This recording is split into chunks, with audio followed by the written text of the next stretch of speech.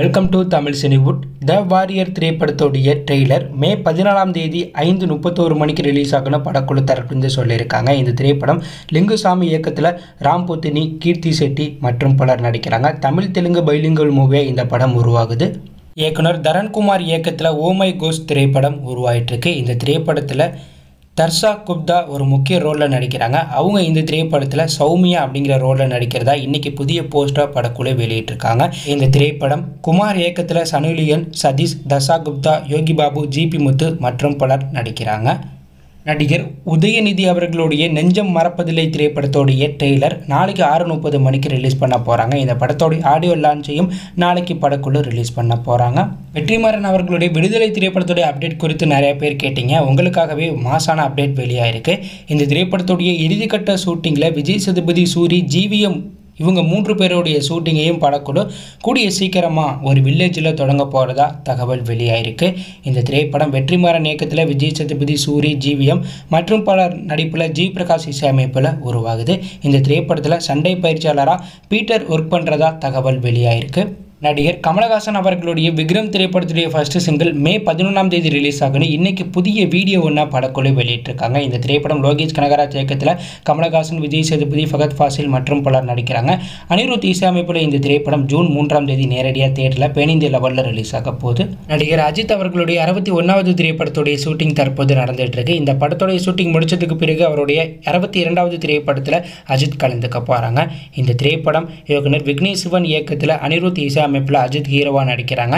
நயன்தாரா இந்த படத்தில் ஹீரோனியாக நடிக்க போகிறதா தகவல் வெளியாயிருக்கு இப்படியாப்பட்ட சமயத்தில் அஜித் அவர்கள் இந்த திரைப்படத்தில் பிரியாணி சமைக்கிறதுல கில்லாடியான ஒரு ரோலில் நடிக்க போகிறாராம் அதாவது அஜித் அவர்கள் இந்த திரைப்படத்தில் ஒரு சின்ன ஹோட்டல் வச்சு அது ஃபேமஸ் ஆனதுக்கு அப்புறம் தமிழ்நாடு ஃபுல்லாக பிரான்ச்சுகளை வந்து ஒவ்வொரு மாவட்டத்துலேயும் வந்து திறக்கிறாரு. அப்படி இருந்தும் கார்ப்பரேட் வந்து அதுக்கு வந்து இடைஞ்சலாக இருக்காங்க. ஸோ அவர் எப்படி சமாளிக்கிறாரு?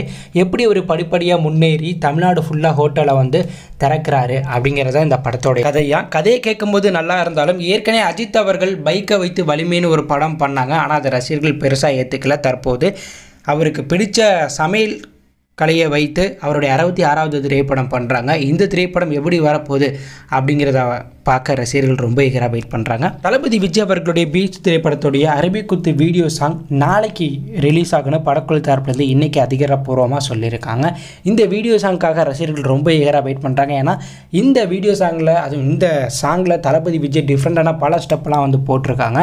ஸோ அதனால் அதை பார்க்குறதுக்காக ரசிகர்கள் ரொம்ப எகராக வெயிட் பண்ணுறாங்க இப்படியேப்பட்ட சமயத்தில் தளபதி அறுபத்தி ஆறு திரைப்படத்துடைய கேசன் குரோ அப்டேட்டை இன்றைக்கி படக்குழு வெளியிட்டிருக்காங்க. ஏற்கனவே இந்த திரைப்படம் வம்சி இயக்கத்தில் தளபதி விஜய் நடிக்கிறாங்க. ராஷ்மிகா மந்தானா ஹீரோனியாக நடிக்கிறாங்க. இன்றைக்கி சரத்குமார் பிரபு மற்றும் பிரகாஷ்ராஜ் இந்த படத்தில் முக்கிய ரோலில் நடிக்கிறதா ஒவ்வொரு மணி நேரத்துக்கும் படக்குழு ஒவ்வொரு பேருடைய அப்டேட்டை வெளியிடுறாங்க. மேலும் இந்த படத்தில் விஜய்க்கு அம்மாவா ஜெயசுதா நடிக்க போகிறதா இன்றைக்கி படக்குழு தரப்புலேருந்து சொல்லியிருக்காங்க.